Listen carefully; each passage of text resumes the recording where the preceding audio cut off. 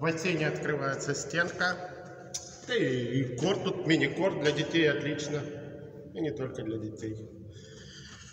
Часто спрашивают, с чего начать большой теннис. Большинство в Александрии людей приходят в большой теннис попонтоваться. Ну и мы их сразу видим, они в Инстаграм фотки выкладывают. Женщины в основном, ну и мужчины, не исключение. И я в том числе. У меня не Инстаграм, так Ютуб. Хорошо это или плохо? Хорошо. Хорошо хоть попонтоваться приходит, хоть зачем-то. Плохо, что результатов не приносит. Все, кто приходит вот так попонтоваться, почти что, придут, там с ракеткой снимутся, в Инстаграм выложат, особенно девочки.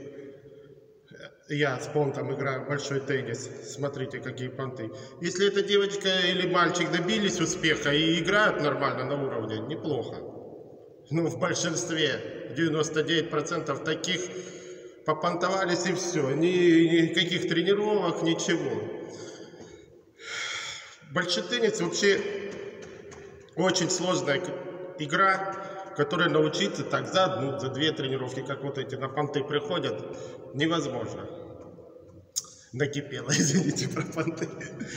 Короче, э, с чего начать? Надо погуглить, поютубить уроки большого тенниса, пересмотреть все, посмотреть на матчи, увлечься матча, матчами, посмотреть уроки на стенке. И приходить на стенку и все, что нагуглили там, кто вам понравился в ютубе, и вперед. Мне понравился больше всего Александр Кулябин, и есть такая, такой канал «Секреты большого тенниса» для любителей. И практически многое оттуда подчеркнул и прихожу, тренируюсь.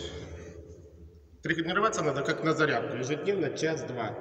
И, на, и это при таланте успех будет через год, при среднем статистическом человеке через пять лет все равно будут какой-то успех, и вы сможете играть в парном любительском или в одиночном, у кого как с подготовкой, на среднем уровне.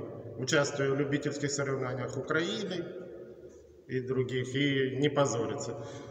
Вначале невозможно, конечно, достичь такого уровня, тем более, если приходишь за одними понтами. Так понты и останутся.